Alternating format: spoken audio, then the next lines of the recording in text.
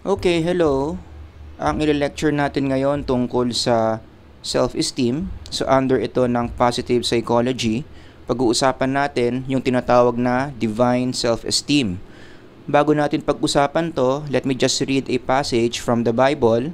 Isa ito sa mga favorite ko kasi sa tingin ko ito yung isa sa most powerful passage, passages I mean, in the Bible.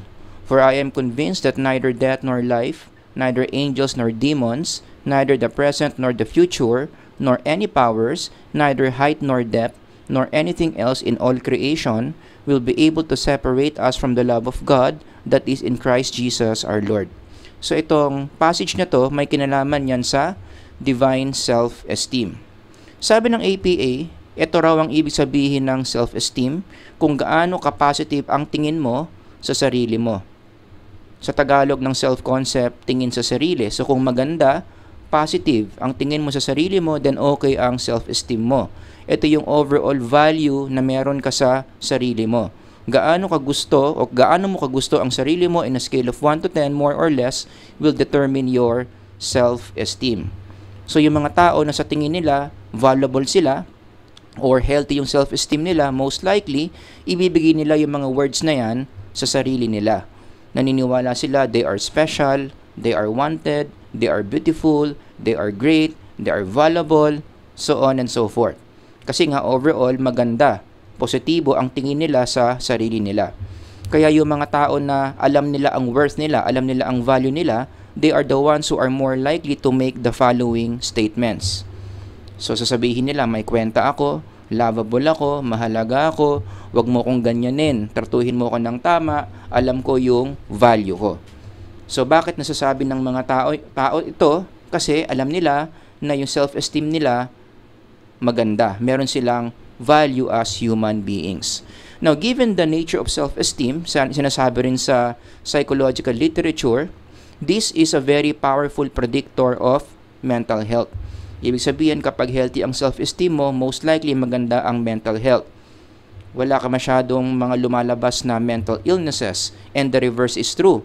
Kapag mababa ang self-esteem, hindi ka naniniwalang importante ka, feeling mo wala kang kwenta, yan yung isang reason kung bakit lumalabas ang iba't ibang mga mental health issues. So, yung mga tao na mabababa ang self-esteem, most likely may problema yan sa mga relationships, hindi sila makasustain ng friendships, uh, madalas silang nadidepress, matataas ang level of anxiety, uh, madalas silang nagsa-self-pity, matataas yung negative emotions nila. Kaya between the two, you would like na ang isang tao more or less healthy ang level ng self-esteem kaysa mababa. Ang tanong ngayon, ano ba yung source ng self-esteem? paano ba natin nasusustain yung level of self-esteem, uh, mahabang usapan to. I have an entire lecture on this, pero masyado tayong hahaba, so isummarize ko lang yung discussion.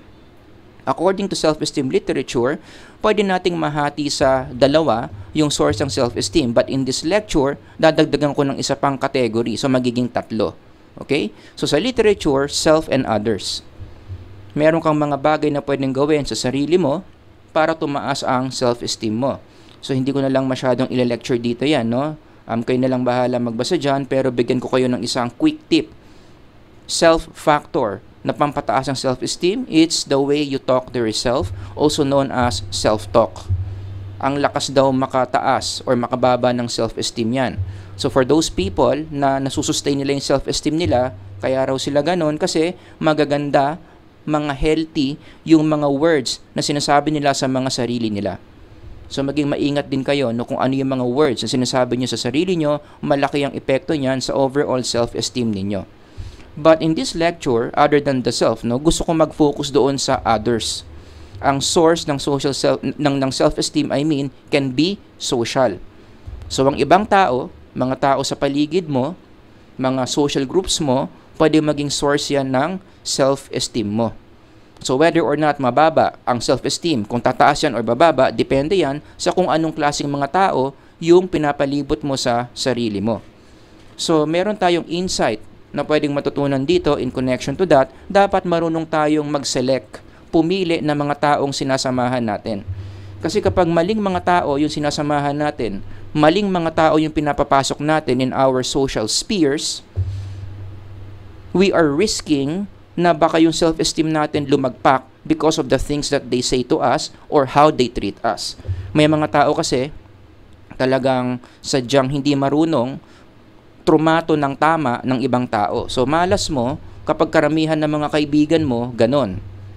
Hindi nakikita yung value mo so hindi ka tinatrato ng maayos, ang consequence lumalagpak ang self-esteem. Kaya may mga tao mababa ang self-esteem eh wala namang problema sa self-talk nila. Ang problema nandoon sa kanilang mga existing relationships.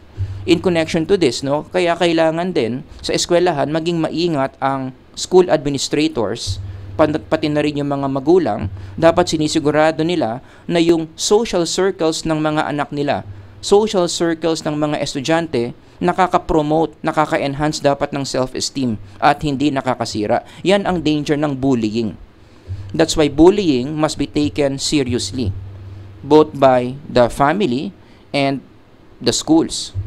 Kaya ako pinopromote ko na sana lahat ng eskwelahan meron talagang matinding mechanism, matinding policy against bullying. Kasi kapag ang tao naka-experience ng bullying yan, malaki ang magiging contribution yan sa pagbaba, sa paglagpak ng self-esteem ng mga estudyante. Kaya maraming estudyante ngayon may mga mental health issues kasi marami sa kanila nagiging biktima ng bullying na hindi nahuhuli ng eskwelahan kasi wala silang mechanisms, wala silang policies against that or hindi nahuhuli ng family. Kasi maraming family ngayon parang wala nang pakialamanan. 'Di ba? So hindi na masyadong natututukan ng mga magulang yung mga anak na biktima na nga ng bullying. Alright? So, yan ang isang source ng self-esteem ng tao. Okay? Now, other shortly, may, may, may shortlist ako dito ng iba pang mga social agents na pwedeng pagmulan ng self-esteem. Ayan. Siyempre, parents mo, mga kapatid mo, kaibigan, barkada, boyfriend, girlfriend, husband and wife. Kung may mga anak ka, pwede maging source din yan ng self-esteem. Kung artista ka or malaki ang pangalan mo, yung fans mo, pwedeng magbigay ng self-esteem, yung kliyente mo, yung organization mo, or even yung pet mo. Lahat ito, social source of self-esteem, pwede nating pagkunan ng value ng sarili natin.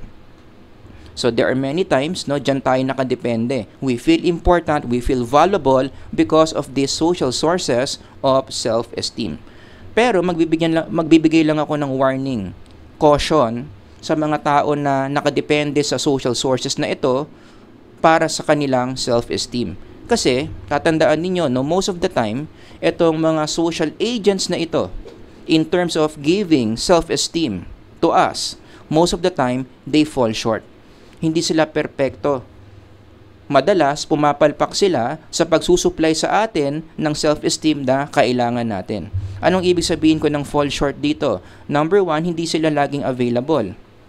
May mga kanya-kanyang buhay din yan hindi naman buong buhay nila dedicated sa'yo to make you feel special or valuable. E paano kung nakadepende ka sa kanila, tapos biglang busy sila, marami silang meeting, o hindi ka nila mapa-feel special, so paano yon Lalagpak self-esteem mo. Or pwede rin namang most of the time, or may mga times, wala sila sa mood na gawing kang special. Diba? Baka inis sila sa'yo, or sadyang ano lang, pagod lang talaga sila sa trabaho, so wala na silang energy to make you feel special. Or, may mga tao naman dito sa shortlist na to, um, unfortunately, they have decided to stop making you feel special. Ayaw na nila. For many reasons, no? Hininto na nila yung yung pagbibigay sa iyo ng value.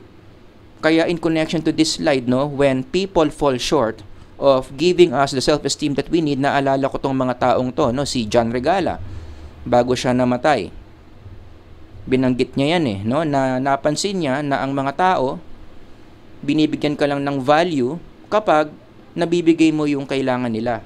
Kapag may pera ka, yan, valuable ka sa kanila. Pero pag nawala na yung kasikatan mo, wala ka ng pera, anong naramdaman ni John Regala? Nawalan na rin ng nawalan na rin siya ng value sa kanila. Kaya lumagpak yung self-esteem eh, ni John Regala kasi masyado siyang nakadepende dito sa social source of self-esteem. Ganon din si Pokwang. Alam naman natin yan, no? Na yung value niya nanggagaling doon sa partner niya, si Lee. Eh biglang nag-decide yung Lee na ayaw na niya sa relationship. Humanap na ng iba, so naging super negative yung epekto niyan kay Pokwang. Lumagpak ng todo talaga yung self-esteem niya. Okay, special mention to, balik tayo doon sa shortlist, special mention to numbers 5 and 6. Kasi sa kultura natin, ito yung nagiging training sa atin, no? Na dapat daw, para masabi mong super mahal mo yung partner mo, whether it's your boyfriend, girlfriend, husband, and wife, ang isang indicator daw na mahal mo yung tao is when nakadepende ka sa kanya emotionally. So, paano mo malalaman kung mahal mo yung partner mo? kapag feel mo hindi mo kaya na wala siya, then mahal mo yan. The moment that you feel na kaya mong wala siya, anong sasabihin ng kultura, baka hindi mo siya ganun kamahal. Oh. Now, ngayon pa lang sinasabi ko na, yung ganyang, yung ganyang framework ng love, mali yan. Hindi yan dapat ini-internalize. Hindi yan dapat ina-apply. Unfortunately, dahil nga ito yung popular idea, marami mga tao kinakagat yan ini-internalize nila yan at ina-apply nila yan in their social relationships. So ang nangyayari, marami mga tao ngayon, they are very dependent on the people that they are with. Lalong-lalo na nga yung romantic relationships. Marami mga tao ngayon, yung overall value nila sa sarili nila nakadepende sa gaano sila ka-valuable sa mata ng partners nila. Now, if you are one of those kung ikaw, ikaw na nakikinig ngayon, kung ganun ka, let me tell you, you are just setting yourself up to mental illness. Kapag ginawa mong dependency sa ibang tao, yung definition mo ng love, sure ball, is just a matter of time bago ka magkaroon ng mental health issue. Alright? Halimbawa, bigyan ko kayo ng example in our popular culture, ito yung tinuturo. I disagree with this quote. Never marry the one you can live with marry the one you cannot live without. Oh. Yang ganyang katuruan, ito yung model na tinuturo na dapat sobrang mahal mo, sobrang depende ka.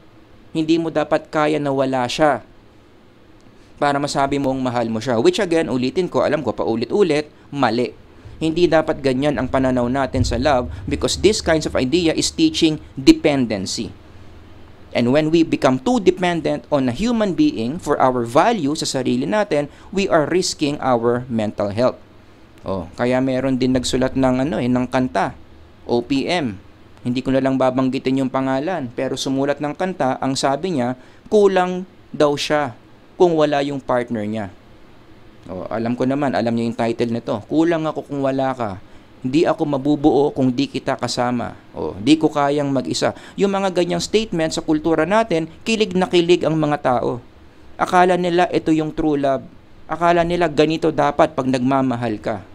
Again, ulitin ko, hindi dapat ganyan. Hindi ka dapat naka-super dependent sa romantic partner mo para sa iyong sa iyong self-esteem. Alright? Unfortunately, yan nga yung tinuturo ng kultura natin. Kaya, ang solution dito, so going back to this, to this slide, no, ulitin ko lang, kahit sino dyan, from numbers, uh, tanggalin natin yung mga laman, from numbers 1 to 10, kahit sino dyan, will fall short in giving you the self-esteem that you need. Again, lahat yan. Wala dyan perfecto. Diba? Kaya, ano ang solution dyan?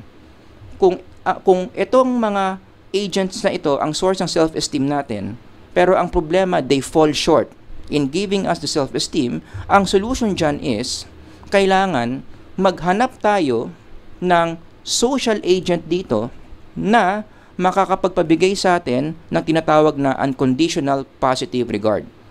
Yung mga mahihilig sa theories of personality dyan, you remember this term, under ito ng humanistic psychology. Pinasikat ito ni Carl Rogers. Okay? So dapat makakita ka dito sa listahan na to ng isang tao na magbibigay sa iyo ng UPR para sure ball, lagi kang may self-esteem na makukuha from that person. Ibig sabihin kasi ng UPR, your worth does not depend on what you do.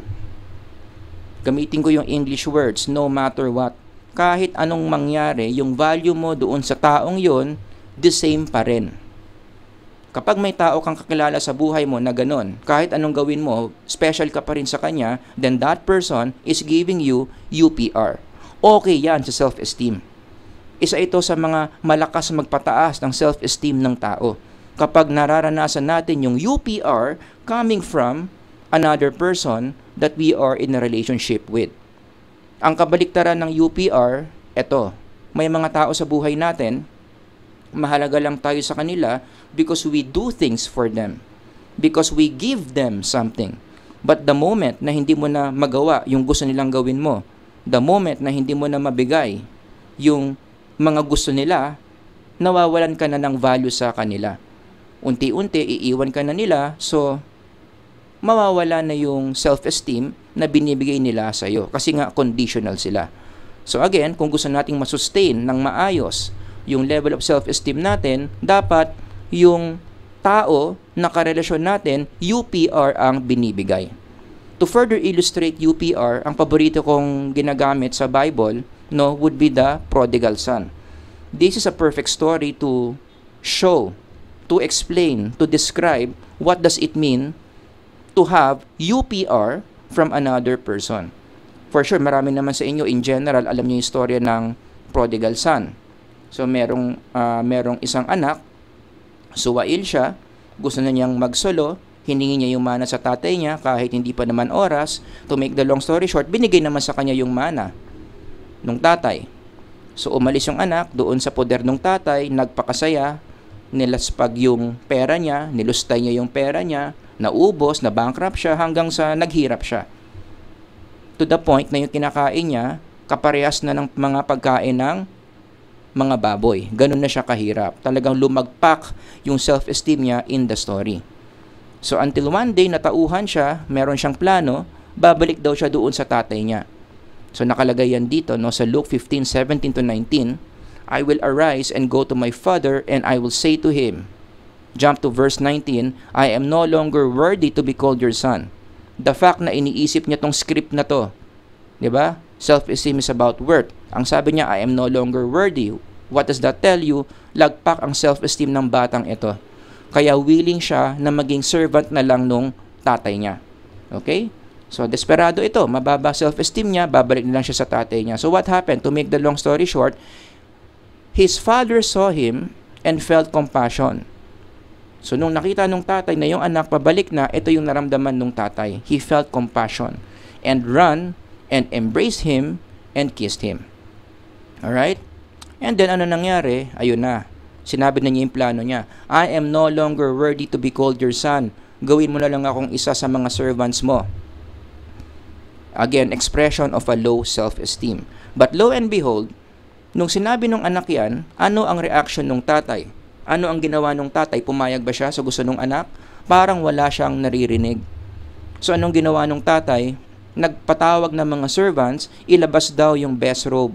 Ilabas daw yung singsing bigyan daw siya ng sapatos. Pumatay daw ng, ng calf kasi magkakaroon ng celebration that day kasi umuwi na yung nawawala niyang anak. Okay? So I would like you to notice here yung anong meron yung anak before disobedience and after disobedience. Before disobedience, mayaman yung anak, syempre. Meron na siyang mana, lahat ito meron siya. Meron siyang robe, meron siyang ring. O, ngayon, nagrebelde yung anak, naubos yung pera niya, lahat ng valuable things niya, pati yung value niya sa sarili niya, naubos, ano nangyari? Pagbalik niya sa tatay niya, take note what happened. Yung value na meron siya before his disobedience, ganun pa rin yung value ng tatay niya sa, tatay niya sa kanya after disobedience. So ito yung mga valuable things na nawala sa kanya. Nung bumalik siya sa tatay niya, binalik ng tatay niya yung mga valuable things na meron siya. Robe, ring, shoes, most importantly, yung pagmamahal ng tatay niya sa kanya, nandun pa rin. Kaya nga hinalikan pa rin siya. Eh. Kaya nga niyakap pa rin siya. Hindi nagbago yung pagmamahal ng tatay niya sa kanya even after this son rebelled. So yan ang tinatawag nating unconditional positive regard. Ganyang klase dapat yung nakukuha natin from our relationships para masustain yung self-esteem natin. Pero ito ngayon ang problema. This is a bitter fact. Talagang madidismaya ka kapag na-realize mo na dito sa shortlist na to, wala dyan ang may kaya na magbigay sa iyo ng UPR. Siguro pinaka-close na dito yung mommy and daddy, brother or sister, but kung magiging honest lang tayo, may mga pagkakataon na nagko-fall short din sila eh sa pagbibigay ng UPR. So sabihin na lang natin to make things simple na from numbers 1 to 10, wala talaga dyan ang capable na makapagbigay sa iyo ng UPR. Karamihan ng human relationships that we have in this life, conditional. You want me to value you, you do this for me. Yan, ganyan naman talaga ang ang takbo ng mundo. Okay? Almost everything is conditional. Oh, meron bang mga examples dito no ng um, mga love songs wherein pumalpak. Ito love song to eh. Pumalpak yung partner niya sa pagbibigay sa kanya ng UPR. Sabi nung kumanta dito, hanapin niya lang yung title ng song, Yesterday, you said you love me everything seemed to be fine. Oh, yesterday yon. Iba yung yesterday sa today. Yung today pumalpak.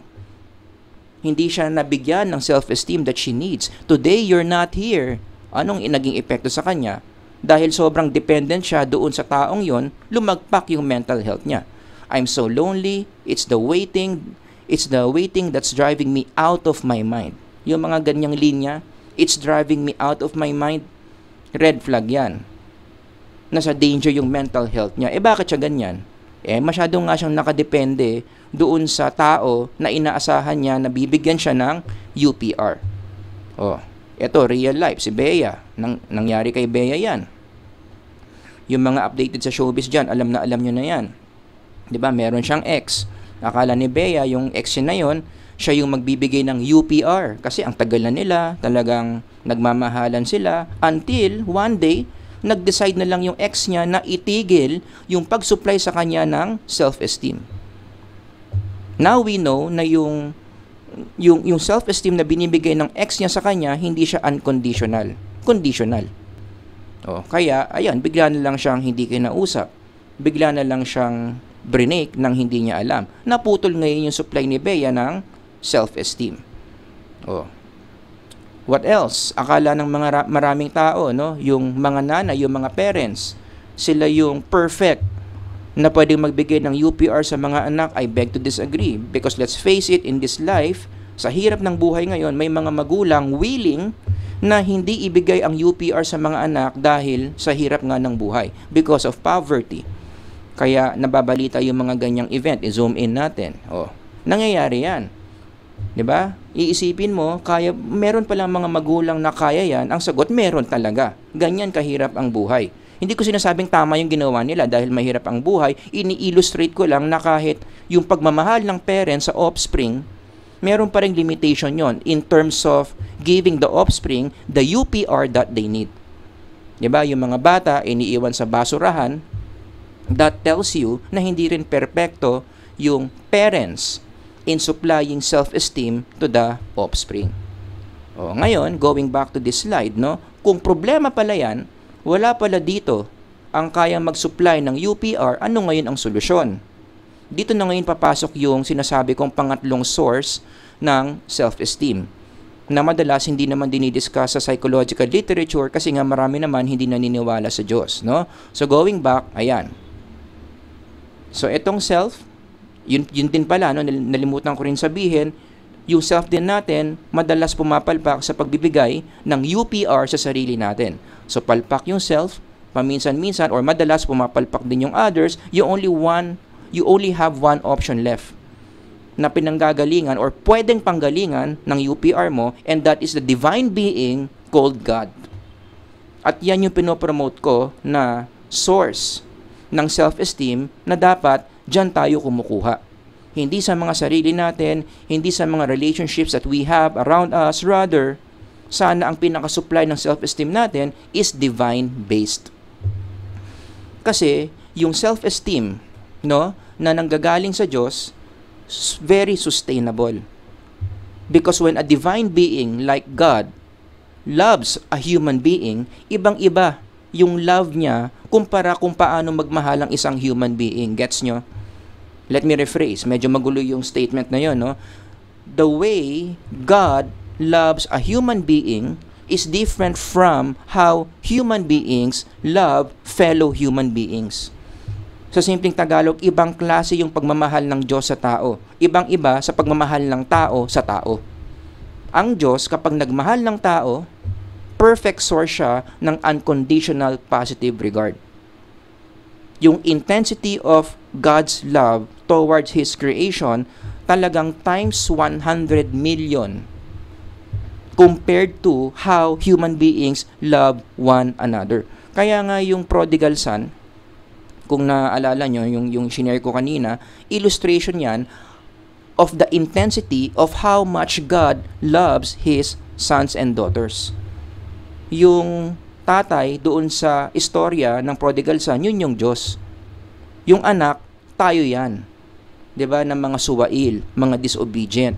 So basically, ang point ng story is sobrang tindi ng pagmamahal ng Diyos for those children that He has.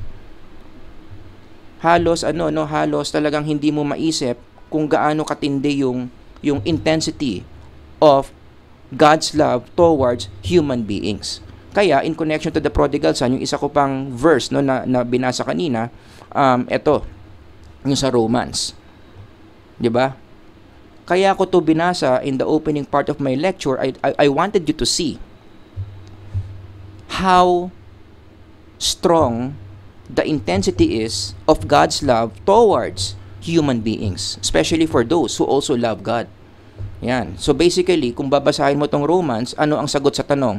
Ano ang makakapagpahiwalay sa'yo from the love of God? Ang sagot, wala. 'Di ba? Isa-isahin mo yung mga words dito, no? mga ano to eh, mga powerful words to. Hindi kaya ng angel, hindi kaya ng height nor depth, hindi kaya ng ng entire creation, wala sa creation ang pwedeng makapagpahiwalay sa iyo from God's love. So yung ganyang klaseng esteem na nanggagaling sa Diyos papunta sa tao, that's the kind of self-esteem that we need. Okay? In other words, let me summarize what I'm saying here.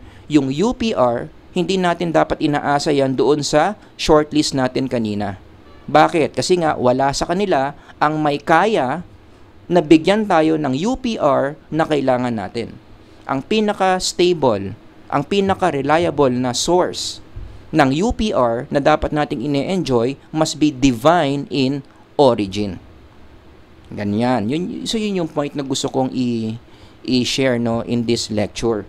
Okay? Na dapat yung psyche natin, pinaka-supplier natin ng UPR is the divine being called God, hindi ang sarili, hindi ang social relationship. Hindi ko naman sinasabing bawal na maka-feel ng value galing sa sarili or galing sa ibang tao, okay lang. Pero dapat hindi yun ang primary source. Hindi dapat yun ang pinaka-ine-enjoy natin. Rather, ang pinaka-ine-enjoy natin, ang pinaka-inaasahan natin na dapat source ng self-esteem natin is the self-esteem coming from God. Ang advantage kasi niyan is, di ba sabi ko, yung self nagpo-fall short sa self-esteem. Ganon din yung relationships, nagpo-fall short sa pagbibigay ng self-esteem. Kapag nagkakaproblema doon sa self or social, okay ka pa rin. Kasi meron ka pa rin divine source of self-esteem. So halimbawa, biglang nag-doubt ka sa sarili mo, nagalit ka sa sarili mo, feeling mo, ikaw lang nagsasabi na wala kang kwenta. So nawala yung source mo ng self-esteem coming from yourself, okay ka pa rin. Kasi meron ka pa rin God, meron ka pa rin social. E paano kung pati yung social nagka-problema, iniwan ka ng jowa mo, oh, iniwan ka ng best friend mo, tirador ka ng kaibigan mo, so nawala yan, okay ka pa rin. See? So kahit nagkaka-problema doon sa self and social, napuputol yung supply mo ng self-esteem from the two sources, in general, okay ka pa rin kasi nga meron kang divine source of self-esteem. God is the perfect being that can give us unconditional positive regard. Kaya in connection to this, naalala ko rin yung story ni Job eh. ba? Talagang lumagpak yung self-esteem niya after what happened to him. Basahin niyo na lang from the book of Job. Pero bakit doon sa book of Job na sustain niya yung sanity niya? Hindi ko sinasabing ano ha, hindi siya nagkaroon ng psychological struggle. He was struggling all throughout the book of Job. Pero overall, na-sustain pa rin niya. Hindi bumigay yung psychological system niya. Sane pa rin siya. Na-maintain, niya, na-maintain pa rin niya yung katinuan niya. Ang tanong bakit? Kasi in spite of the things that happened to him, meron siyang Diyos, meron siyang divine being na nagbibigay pa rin sa kanya ng UPR. Kaya nasustain ni Job yung quality nung psyche niya. Kaya nung natapos yung book of Job, oh, okay pa rin si Job psychologically speaking. Maliwanag. So, in, in, in closing this lecture, meron akong dalawang applications na gustong i-share sa inyo, no? So, ano ngayon? Anong matututunan natin from this short lecture about divine self-esteem? Number one, sana na-realize ninyo na wag natin in-normalize yung nagiging dependent tayo sa ibang tao for our self-esteem. Huwag tayong masyadong nakaasa sa ibang tao no para lang paniwalaan natin that we are valuable people. Again, unfortunately, yan yung tinuturo ng kultura. Kaya marami mga tao ngayon may problema sa mental health. Kasi yung mga tao sobrang nakadepende sa ibang mga tao for their values, tapos yung mga tao na nagbibigay sa kanila ng self-esteem, mga imperfect beings, nagiging unstable ngayon yung supply ng self-esteem nila which negatively affects their mental health. So sana wag kayong gumaya sa mga ganong tao. Huwag niyong kagatin, huwag niyong i-internalize yung ganyang framework of love. Hindi dapat ginagawang sukat, sukatan yan ng pagmamahal kung gaano ka kadependent sa tao. That's a wrong framework of love. Alright? Application number two, sana iset mo yung mind mo na ang primary source ng self-esteem mo o ng value mo bilang tao is not other people. Kasi nga, they will always for short. Rather, sino dapat? The divine. Specifically, God, your creator. Kasi siya lang ang merong capacity na magbigay ng UPR na kailangan natin. Huwag tayong umasa ng UPR sa mga tao, they will always fall short. Ang tanong, paano? That's a very common question I receive from students, no? So, papaano ko makukuha, ma-enjoy yung UPR coming from God? Mahabang usapan yan. I have an entire lecture on that. Masyadong, masyado tayong hahaba kapag i-discuss ko pa yan. But let me just give you the first step. The first step for you to enjoy the UPR that God gives our psyche is by being aware. By being aware how much God loves us. And the best way to see how much God loves us is to expose ourselves through God's Word. So, ang sagot dito, Biblia. 'Di ba? Ito yung first step para makita mo how much God loves you. You read what's written on the Bible because it contains the perfect description how much God loves human beings. So you read the Bible, you reflect about the Bible, you meditate on the Bible, yan ang first step. Kasi the more na nagme-meditate ka about the Bible, no, ito yung mga mababasa mo diyan, no, from the book of Psalms. Messages like this, kapag natutunaw ito sa subconscious natin, talagang nagigets natin that our Creator is the source of our unconditional positive regard. Basahin mo pa lang eh, talagang tataas ang self-esteem mo. Ang sabi dito, You, O Lord, are a God merciful and gracious, slow to anger, and abounding in steadfast love and faithfulness. Oh. At dahil nire-reflect mo yan araw-araw, minememorize mo yan araw-araw, natutunaw yan sa subconscious mo. Increasing your overall level of self-esteem. Kaya ano, no, meron tayong evidence dito sa psychological literature. Kaya pala yung mga tao na matataas ang spirituality, magaganda ang well-being. Ano ang nag explain Kasi the more you are spiritual, the more you expose yourself to the to God's word is in the Bible, ano nangyayari? Na-expose yung mind mo sa mga ganyang statements. O ito naman from Lamentations. Because of the Lord's great love, we are not consumed for His compassions never fail. Ganyan kaka-special sa Diyos. They are new every morning. Great is your faithfulness. Talagang tataas yung self-esteem mo kapag ito yung lagi mong iniisip. Pero again, hindi nga ito matutunaw sa subconscious mo. Hindi ito maglilinger sa subconscious mo kung hindi mo i-expose yung sarili mo sa God's Word through the Bible. Oh. So anyway, going back to the psychological literature, kaya pala na yung mga tao matataas ang spirituality, okay ang well-being. Maganda ang mental health. Why? Because their minds, their psyche is always exposed to these words, increasing their self-esteem that leads to a better mental health and higher well-being. All right? So yun lang, yung maikling lecture natin about divine self-esteem. Again, bottom line dito, huwag tayong umasa sa mga tao, sa mga taong mortal, no? In connection to the self-esteem that we need. Kasi talagang they will always fall short giving us unconditional positive regard. They are incapable of giving us that. Kasi nga lahat tayo fallen beings, when we love another human being, talagang hindi perpekto. So iwasan natin yon na totally mag-depend tayo sa mga ganong sources. Rather, what do we do? Dapat ang source ng self-esteem natin is the divine. If you have any questions, comments, or other examples, ilagay nyo lang dyan sa comment section. Sana marami kayong natutunan. Sir Howard here. Until the next lecture, God bless everyone.